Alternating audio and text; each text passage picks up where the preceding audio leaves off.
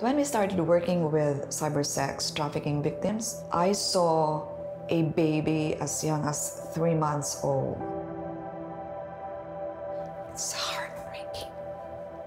This mother offered this baby. I said, a three month old baby, I can do sex things with her if you wish.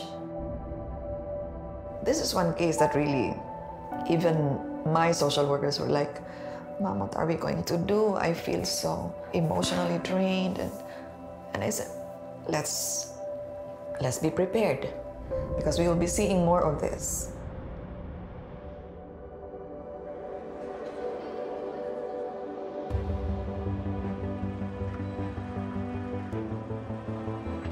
Everyday social workers doing all this fight, fighting battles inside the head, inside the bodies of our young children and they don't have any weapons at all. They only have ball pens and paper and their feet and their hands and their hearts.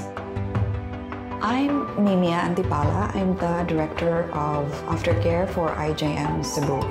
My name is Dolores uh, Rubia and I'm the Aftercare Director at IJM Manila.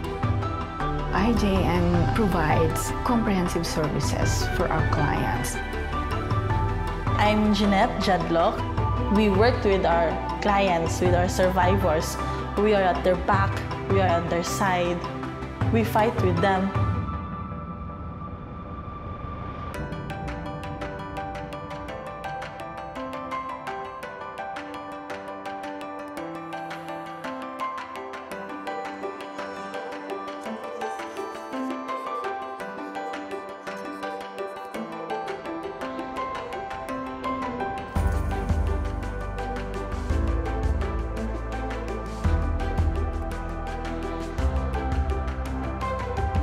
I live in hope.